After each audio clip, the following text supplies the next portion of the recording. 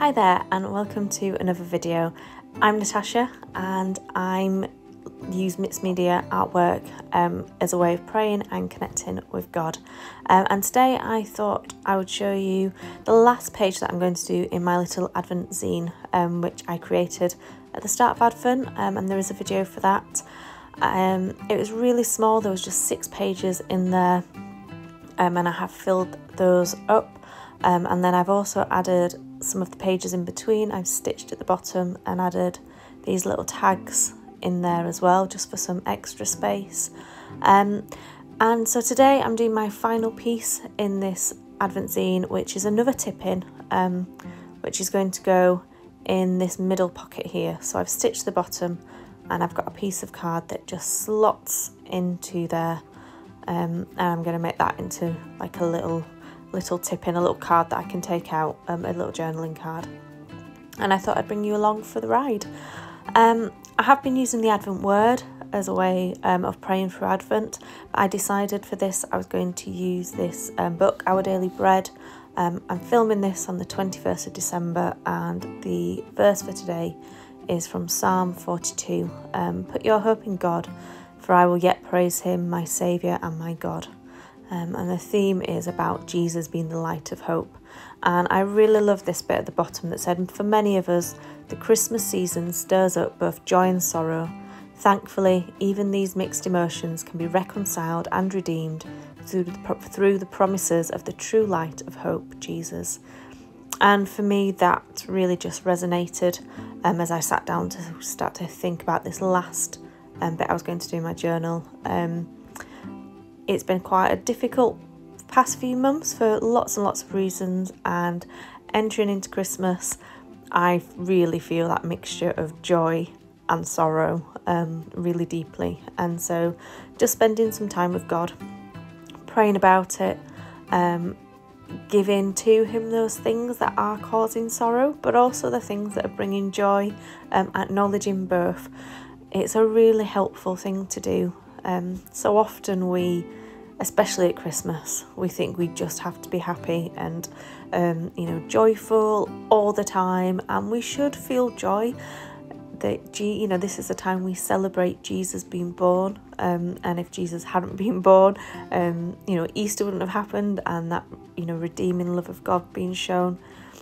But actually, just because something is joyful, um, doesn't negate the sadness, um, and that might be personal sadness it also might be sadness at what's going on in the world. Um, you know, it's quite hard to look at the things that are going on um, and to ignore it and just think, oh, well, it's Christmas, we'll be happy, you know, when there are people suffering and people dying. Um, and so, actually, holding both of those two things in tension, joy and sorrow, um, I think is really important and something that I'm really learning to hold through this season.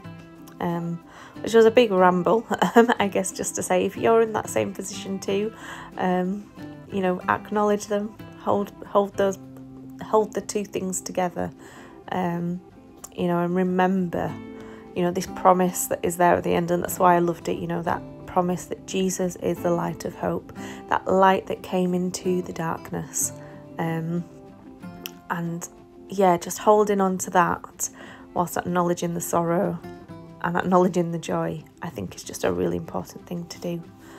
Um, so I have, you know, started on my little journaling card. I've added some collage, um, and I'm sorry it does go a little bit off screen. I don't quite know what I'd done with my camera. Um, but yeah, I'd started by adding some collage, um, and then over the top of that, I'd added some gesso, and then using some acrylic inks just to add um, some colour.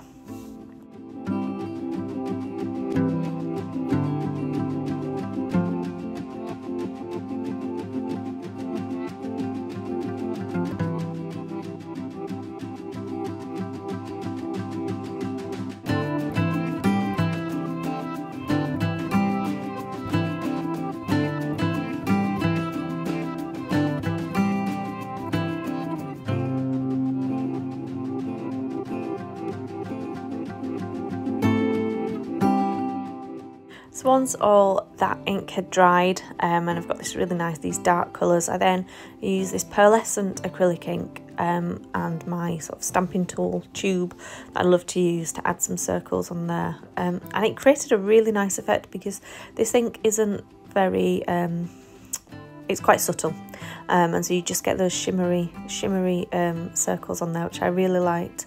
And then I pulled out this image of a candle. I hadn't really intended to use a candle, but I found this image and I really liked it um, and I liked the contrast with those dark purples and blues and um, Payne's grey and then the candle which are much softer, subtler colours.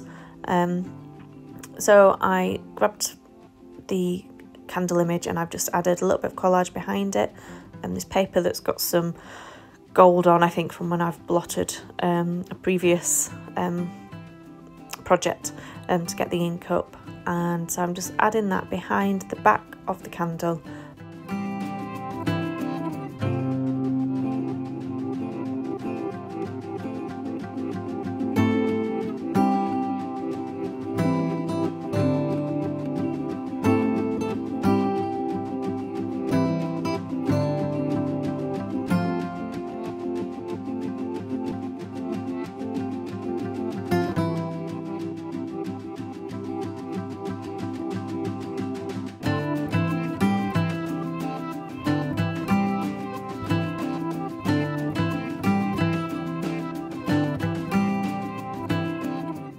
I just grabbed my white pet gel pen um, and did some journaling over the top, just reflecting on the idea of Jesus being the light in the darkness, which is something that I had done right at the start of my journaling in this um, Advent, but it felt quite nice to finish with that as well. And I'll probably do some journaling on the back of the card at some point as well, um, off camera, just reflecting on the things that are, for me, um, you know, the sorrow and joy of this season. And then just the final thing I decided to do um, was to add like a little tab onto the card um, to make it a little bit easier to get in and out of the pocket. So I just used washi tape for that, um, that kind of matched the colours that I was using, um, and it just makes it that little bit easier to sort of put in and out. And there we have it, um, the finished journaling card, um, sort of tip in to add to my um, journal. Um, I hope you've enjoyed the video. I hope you have a really blessed Christmas and I will see you again in 2024. Until then, goodbye.